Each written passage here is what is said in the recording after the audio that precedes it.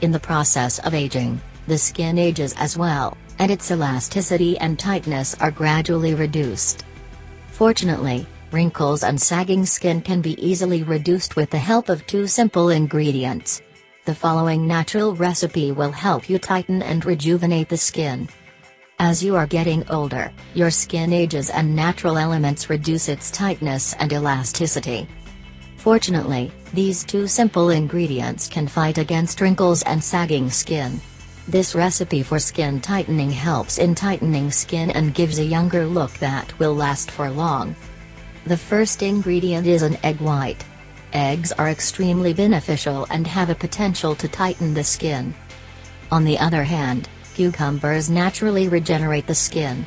Additionally, they are rich in antioxidants, like vitamin K and C, which destroy free radicals which are the reason for the looseness of the skin and wrinkles. Silica is one of the most important ingredients in cucumbers, which efficiently supports the growth of supportive tissues and prevents wrinkles. Method of preparation Peel the cucumber, and cut it in two halves, Slice one of the halves in small pieces, and put them in a blender.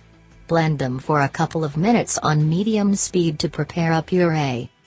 Then, place a strainer over a bowl and apply the pulp onto it to drain the juice. Use a spoon to smash it and extract the rest of the juice.